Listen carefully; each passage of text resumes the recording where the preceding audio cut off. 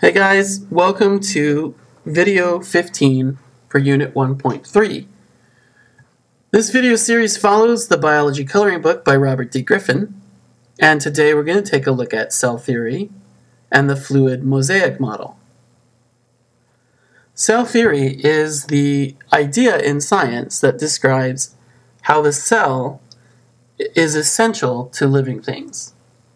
It tells us that the cell is the basic unit of life, and that all living things are made of cells, and that those cells come from pre existing cells. But let's elaborate a little bit. When we say that all living things are made of cells, what we really mean is that every known organism is made up of one or more cells. There are single celled organisms like bacteria or protists, and then there's the multicellular organisms like you or a rabbit or a dog. This picture is a picture of a biofilm. It looks like it's a single organism composed of lots and lots of cells, but in fact, it's actually a mass of single-celled bacteria. Biofilms are formed when bacteria colonies grow to cover a huge region, and sometimes they're even visible to the naked eye. An example of a biofilm is what is referred to as scum that grows on your teeth.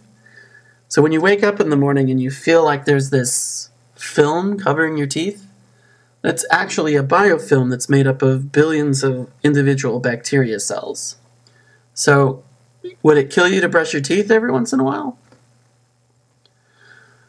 Cells are also called the basic unit of life because they're the basic unit of structure and function in living things.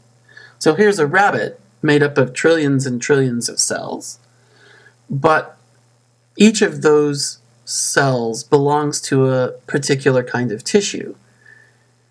So, for example, cells that make up bone tissue, which are called osteocytes, have a particular structure because of their job as part of the support system for the animal's body.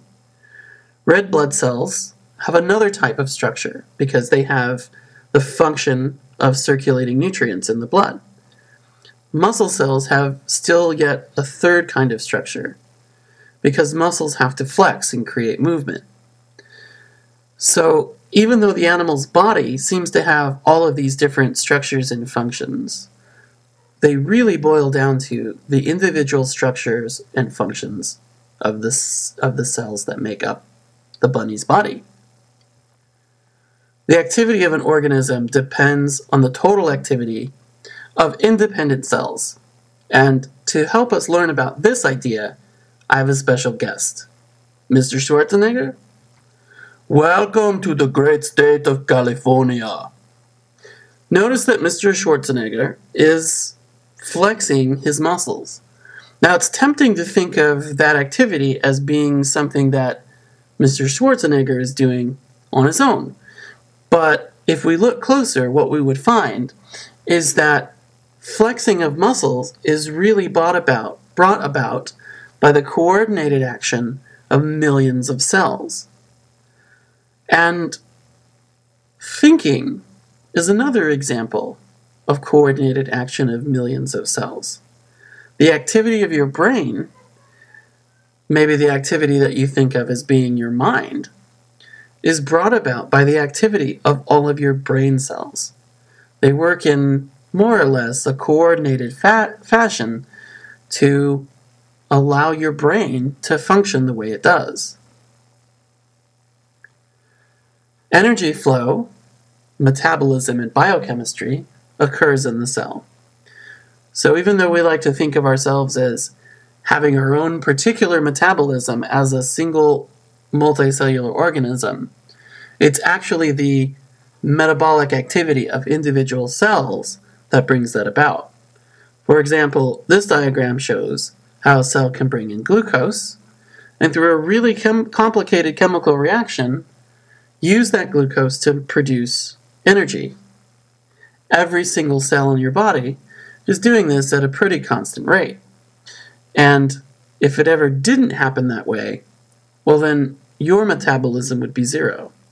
And you'd be dead, unless you're some kind of robot. Cells also contain hereditary information, called DNA, which is passed from cell to cell during cell division. The cells that I've circled here in red are in the process of dividing the copied DNA that will be used to start new cells when the cells divide into two. All cells are basically the same in chemical composition in organisms of the same species, meaning that if I looked at the brain cells of this bunny, they would be pretty similar in structure and composition to the brain cells of this other bunny. So they're pretty much the same bunny. The last thing we need to talk about is an idea called the fluid mosaic model. It describes the structure of the cell membrane and helps to explain how the cell membrane acts as a selectively permeable membrane to allow good things to move into the cell, but to keep bad things out of the cell. So remember how we talked last week about phospholipids. We talked about their composition. There's two fatty acid tails that make one end of the phospholipid hydrophilic, not hydrophilic, hydrophobic, whereas the top end of the phospholipid is hydrophilic because it has a phosphate group and a polar group. We also learned how they spontaneously form phospholipid bilayers when they're in water. Well, it turns out that the cell membrane is a phospholipid bilayer. It's a phospholipid bi bilayer that also includes chunks of protein and carbohydrates and cholesterol in it. And each of these items that are embedded in the phospholipid bilayer have a particular role. Some of them, like cholesterol, act as binding agents to keep the phospholipid bilayer intact. Others, like proteins, can be chemical signalers, communicating between one cell and another. Or they can be parts of the cytoskeleton that let the cell move and maintain its shape. Or they can be protein channels that help pull things into or push them out of the cell. Because the cell's phospholipid bilayer is pretty fluid, and you should think of bubbles of oil and water, they're not hard or rigid, they pretty much flex and uh, easily move around. And because that phospholipid bilayer is embedded with lots of chunks of proteins and other things, we call it the fluid mosaic model. Fluid because it's able to flow, mosaic because it's got chunks of stuff, like as if it was a mosaic made out of pieces of tile or something. By the way, what would you call a mosaic that was made out of a cow? A mosaic. Because it's made out of a cow. Cows say moo. So, the cell membrane allows for the transport of materials into and out of the cell. Generally speaking, we're talking about bringing in useful items and then pushing out items that are not useful, like metabolic wastes, for example. Cells do this by a couple of different processes. The first is passive transport, which is passive because it doesn't require any energy from the cell. The reason it doesn't require energy is that passive transport happens when items move through or across the cell membrane using simple diffusion.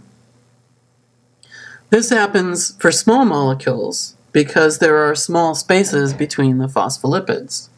So ions, like the components of salt or water molecules, can pass through those small spaces between phospholipids.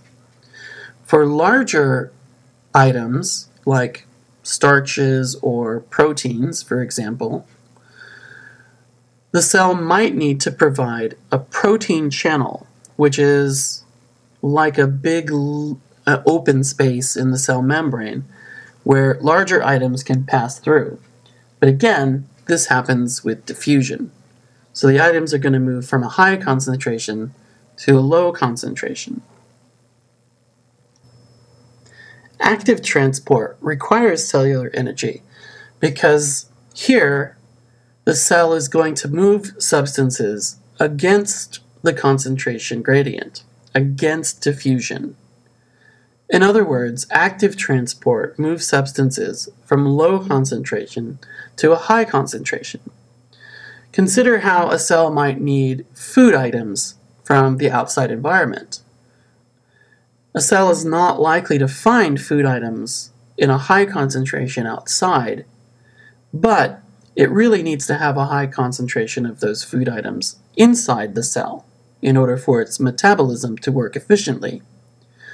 In order to accumulate those items inside the cell, the cell has to use energy and special proteins called transport proteins to bring those substances in. That's the end of this video. Please complete the corresponding review questions and make sure that you're prepared to show me your notes in class. And here's your bunny of the day.